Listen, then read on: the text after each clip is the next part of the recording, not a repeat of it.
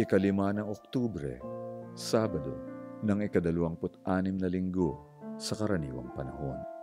Ang mabuting balita ng Panginoon ayon kay San Lucas. Tuwang-tuwang nagbalik ang pitumput dalawa at ang sabi, Panginoon, mga demonyo may sumuko sa amin dahil sa inyong pangalan. Sinabi naman ni Jesus, Nakita kong bumagsak na parang kidlat si Satanas mula sa langit. Binibigyan ko kayo ng kapangyarihang yumapak sa mga ahas at talakdan. Masusupil niyo ang lahat ng kapangyarihan ng kaaway at walang anumang makapipinsala sa inyo. Ngunit magala kayo, hindi dahil sa pagsuko sa inyo ng mga espiritu, kundi sapagkat nasusulat sa langit ang inyong mga pangalan. Nang sandaling iyo'y nag-umapaw sa galak sa Espiritu si Jesus at sinabi niya, Pinupuri kita, Ama, Panginoon ng langit at lupa, dahil inilihim mo ang mga bagay na ito sa marurunong at matatalino at ipinamulat mo naman sa maliliit. Oo, Ama, naging kalugod-lugod ito sa iyo Ipinagkatiwala sa akin ng aking ama ang lahat. Walang nakakakilala kung sino ang anak, kundi ang ama. At kung sino ang ama, kundi ang anak, at ang sino mang gustuhing pagbunyagan ng anak.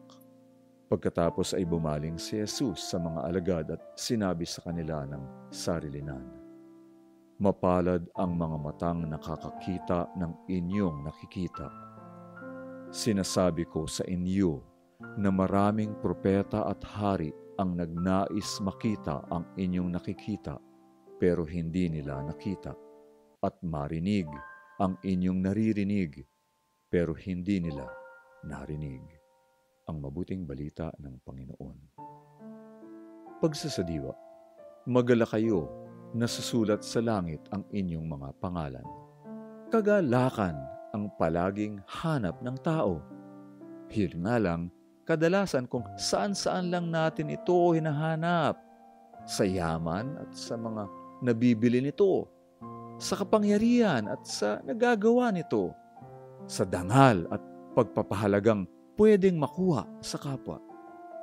Sa Ebanghelyo, kakaiba ang naging karanasan ng mga alagad Nanggaling ang tuwa nila sa kapangyarihang ipinagkaloob ni Jesus sa kanila para makiisa sila sa kanyang misyon. Kasabay marahil ng pagkagulat, galak ang nadama nila nang sumusuko pati ang mga demonyo sa kanila sa ngalan ni Jesus. Pero hindi pa rin pala sapat ang kagalakang ito. Hinila sila ni Jesus sa mas mataas na antas ng kagalakan nagmumula ang tunay at hindi matatawarang kagalakan sa kaligtasang napagtagumpayan na sa pamamagitan ni Kristo. Sa makatuwid, batay sa pinakamalaking pagpapalang nangyari sa kasaysayan ng tao na umaalingaw-ngaw naman sa magpakailanman. Pagsasagawa, masaya na ako kapag buuin ang pangungusap upang mahayag kung ano ang inaakala mong makapagpapasaya sa iyo. Pero ito na nga ba? Lawakan ang pag-unawa sa punto de vista ng walang hanggan o ng langit.